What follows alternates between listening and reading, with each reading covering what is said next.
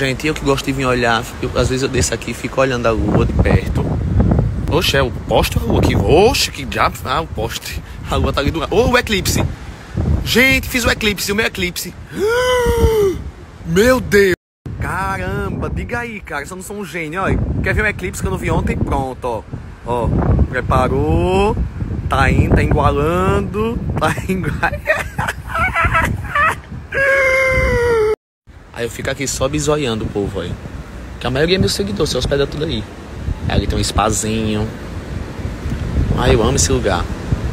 Sempre me trataram bem. Tinha um real, já deixavam ficar. Era ótimo, eu amava. O dono virou um dos meus melhores amigos.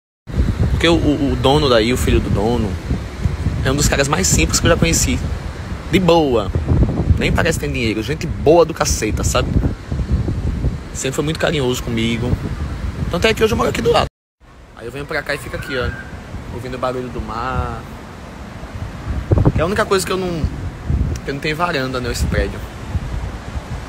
Mas eu sou muito feliz aqui. Muito mesmo.